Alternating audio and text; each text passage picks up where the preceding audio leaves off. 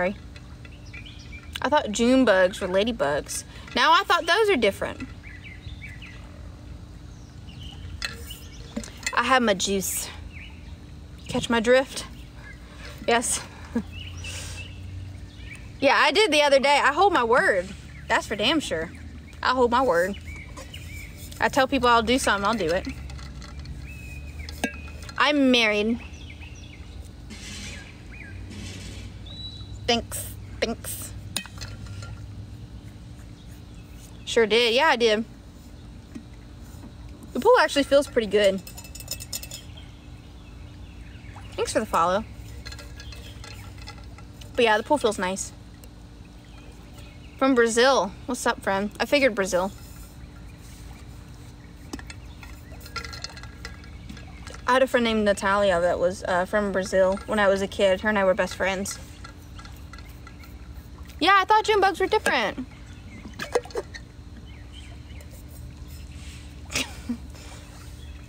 how about I, how about y'all send in a lion and then I'll get in the pool? I wanted to make it outrageous because I don't want to get in the pool. I'm in my comfy clothes. We're relaxing for the rest of the day. I've got my juice.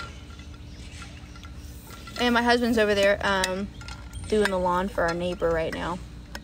The guy had just lost his dad, so he's uh needed a little bit of need a little bit of help over there. Thanks for the follow. I get in the pool, someone sent the lion.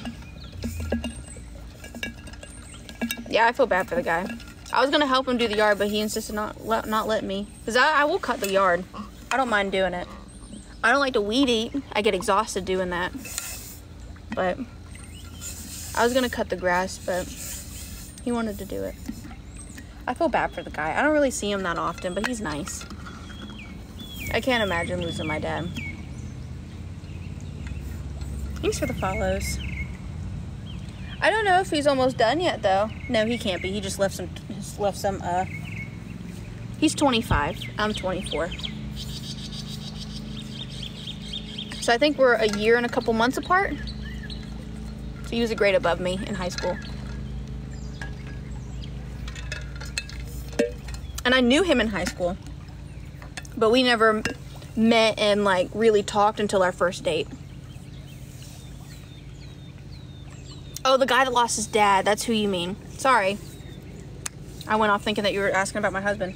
Um 60s? 60s, 70s. I've never actually gotten to meet the guy and really talk with him.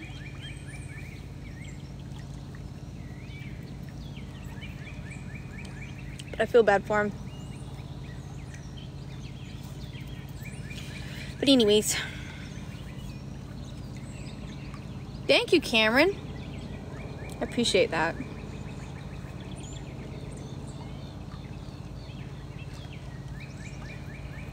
Hey, friend. Yeah, I feel bad for him. Whenever he texted me that, I just I didn't know really what to think. Like you just you when you hear stuff like that, you think of your own family and like people you really care about. What built this? Is that what you mean? I'm assuming so.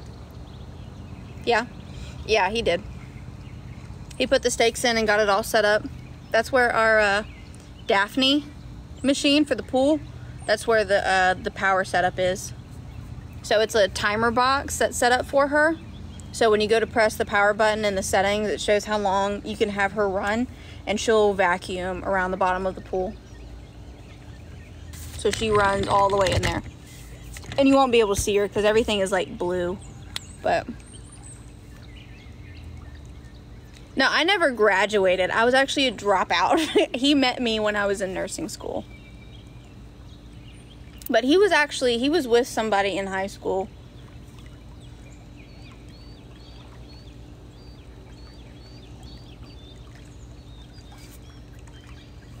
Yeah, painting, painting. Pool cleaning made easy.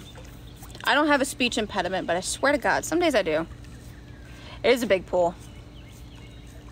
I don't know how, how like long and wide it is, like what the dimensions of it are, but it's got an eight foot end on that side. Yeah, nursing school, but dropout. I know. How impressive is that?